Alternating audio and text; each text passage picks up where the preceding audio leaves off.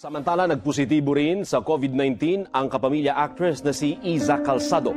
Kinumpirma ito ng kanyang manager na si Noel Ferrer. Actually, nung nasa hospital ako, ito na ba yun, Lord? Dito na ba magtatapos yung buhay ko? Parang inisip ko, ah, kakasal ko lang, di ba? Wala pa nga akong anak. May isip mo talaga lahat yun. Isa si Iza Calzado sa mga artistang nagkaroon ng COVID-19 noong March. Papalaki pa lang dito sa ating bansa ang positive COVID-19 cases. Habang sa ibang bansa naman ay paparami na ng paparami. At ang mas pinaka nakakatakot sa lahat, marami na rin ang nagbuwis ng kanilang mga buhay. Mga March 13 yun, nagkaroon ako ng ubo.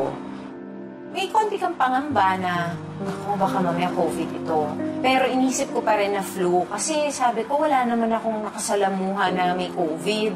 Nung hindi talagang umaayos yung lagay ko. Tsaka kami nagpa-check sa isang diagnostics clinic. Doon ko lang nalaman na kinakapos na pala ako sa hininga ko.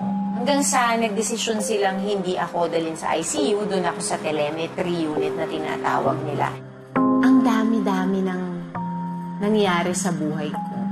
Ang dami ng hirap na pinagdaanan. Sabi ko, hindi dito magtatapos.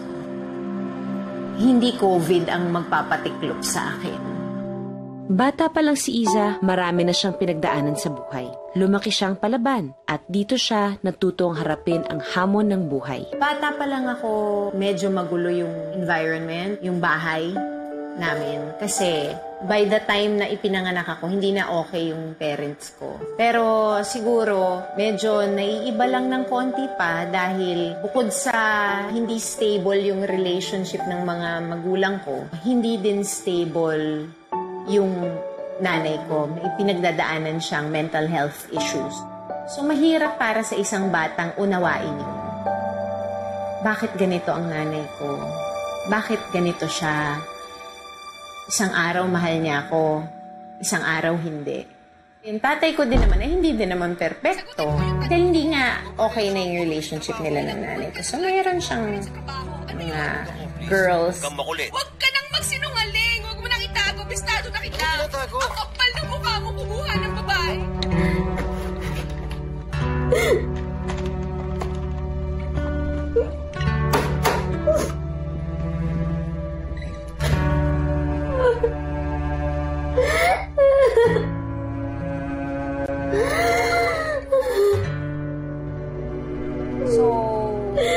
Lumaki ako ng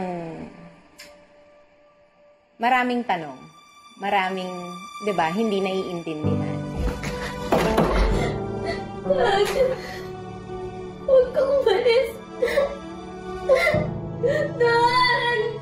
Sa totoo lang yung nanay ko, gusto niyang ipaintindi.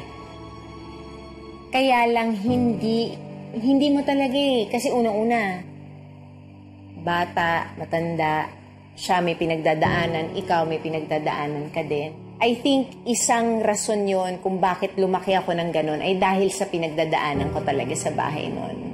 I found comfort in food. Ang escape ko noon ay libro at TV. Pag teenager ka, nagiging mas conscious ka sa katawan mo. Kahit na sino naman tao dito na malaki o naging malaki sa buhay nila, alam kung ano yung stigma, kung paano tratuhin ng kapwa-tao. Minsan nga kahit payat eh. Di ba may tinatawag tayong fat shaming, may tinatawag tayong thin shaming. Lalo na pag bata ka, yung natatawag kang baboy, tinatawag kang kung ano-anong ibinabato sa'yo mahirap tanggapin yon ng ganun lang at pagdaanan, lalo na pag teenager. At hindi pa doon natapos ang problema sa buhay ni Iza. May matinding trahedyang dumating na muling sumubok sa pagkatao ni Iza. Pagkatapos ng maraming taon ng paglaban niya, dahil tunay siyang lumaban sa sakit niya, na pagiging manic depressive or bipolar. Siguro, nung mga puntong yon, naramdaman niyang wala ng pag-asa.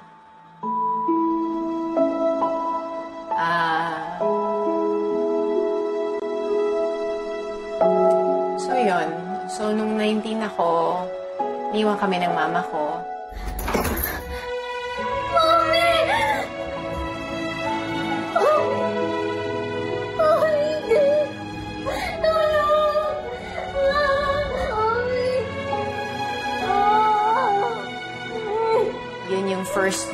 Sa pamilya namin. Siguro na sabi ko na alam ko yung pakiramdam ng iniiwan.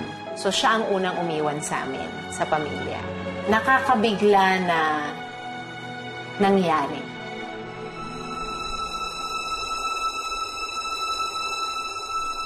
Titigil yung mundo mo.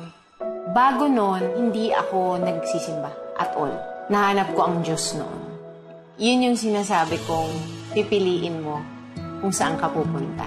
Siguro kung meron akong isang wish ay sana yung mga alam ko in terms of health, in terms of support groups, of what to do, sana nagkaroon siya ng ganong access. Kung pwede lang akong bumalik, siguro yun yung dapat mas binigay ko sa kanya, oras ko. Na yung talagang pinakinggan ko siya,